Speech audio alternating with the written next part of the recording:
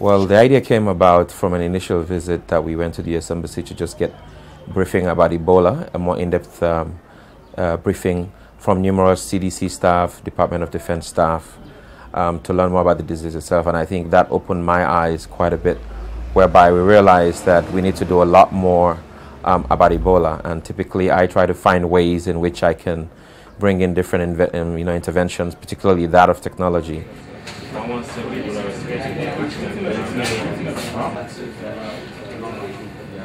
We had some uh, brainstorming sessions with our staff, um, you know, letting them know all of the things we know about Ebola, and of course the economic impact as well that it's having on the company, um, but more so what we could do to help the fight on Ebola.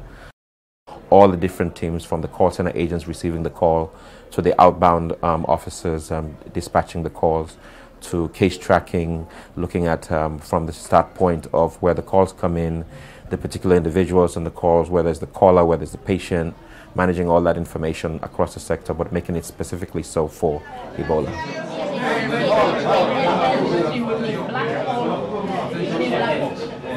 You can pass on this information right now, yeah? And we get the information, so just one confirmer, how to use it.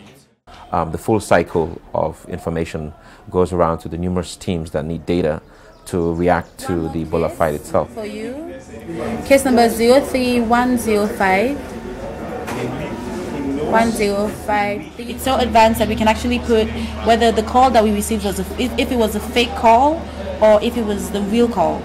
The surveillance team will go there and check it out, and then they come back to us and give us full details, and then we enter them to the software, and then we save it. We own two companies here in Sierra Leone. One is a training company, and then the other one is a software company.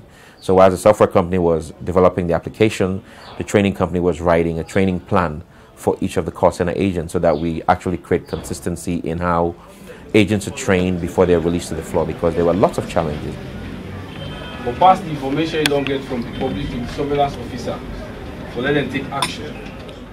So we had to provide quite a lot of customer-related training, um, you know, emergency, um, you know, dispatch um, related training, um, you know, numerous skill sets that we thought that they needed, anger management, and we combined that into a, a series of training, including um, getting them on full-blown training on the Ebola virus itself, and some basic information that they need to be able to relay to folks on the other end, um, so that we can actually ease the pain on them and let them know that you know help was on its way, but it was being managed in, in a particular way that could actually get them results. Hello, Ahmed. Hello.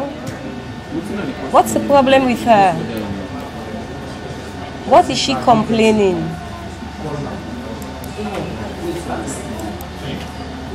Hello? Okay, okay, high fever. I think um, one of the things that we realize is how much data has become so important in driving the decisions for the fight against Ebola, and particularly the call center being the first port of call for gathering the data. Um, it's becoming extremely important that those who are running call centers to fight Ebola must actively make sure that they have systems that can actually capture the data so you can actually distribute this data amongst all the, the respective teams that are there. I think to me, um, the war on Ebola and on future outbreaks and so many things, um, you know, challenging Africa relies on human resources, um, and those skill sets are extremely important to us. What we're looking at right now is something that is terrifying all of our communities, and um, the, the, huge economic impact that it's having, adverse economic impact, right now, um, I think is something um, the world needs to be looking at. So I think we continuously need to put all hands on deck to fight Ebola. And for now, what we've done is technology related, but we're willing to collaborate with whoever is doing things out there to make sure that we get a, a sustained effort to kill Ebola. Sweet Sierra Leone.